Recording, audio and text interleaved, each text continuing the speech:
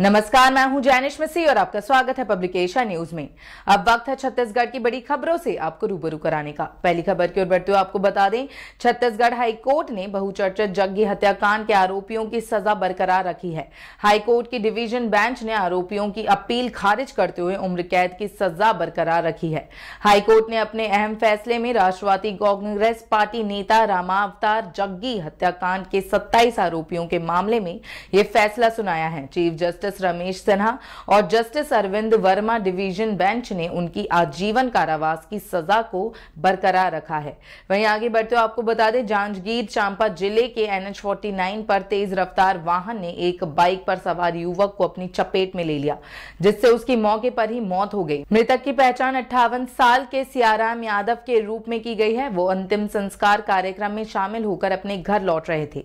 अज्ञात वाहन चालक मौके से फरार हो गया पुलिस ने शव को को कब्जे में लेकर पीएम के लिए भेज दिया और आगे की कार्यवाही की जा रही है वहीं आगे बढ़ते हुए आपको बता दें रायपुर से जेल प्रशासन की एक बड़ी लापरवाही की खबर सामने आई है यहाँ रायपुर जेल का कैदी फरार हो गया हालांकि कैदी अभी कुछ दूर पहुंचा था कि एक स्थानीय युवक ने जल्दी से उसे बाइक से दौड़कर पकड़ लिया इसके बाद युवक ने पुलिस को इसकी सूचना दी मौके पर पहुंची पुलिस ने कैदी को अपने कब्जे में ले लिया और जेल प्रशासन को इसकी सूचना दी बता दें अस्पताल से फरार होने वाला कैदी महेश वर्मा डबल मर्डर का आरोपित है ये कैदी इलाज इलाज के लिए जिला अस्पताल में भर्ती कराया गया था वहीं आगे बढ़ते हुए आपको बता दें कोरबा के गेवरा खदान में एसईसीएल e से शिकायत मिलने के बाद छह डीजल चोरों को गिरफ्तार किया गया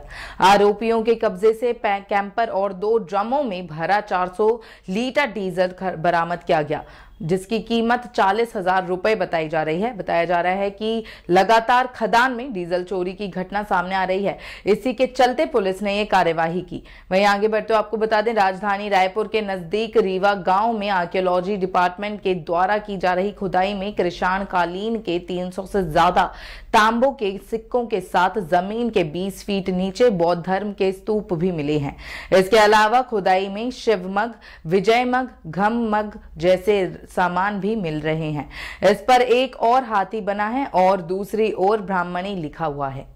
ऐसे ही तमाम खबरों के लिए देखते रहें एशिया न्यूज धन्यवाद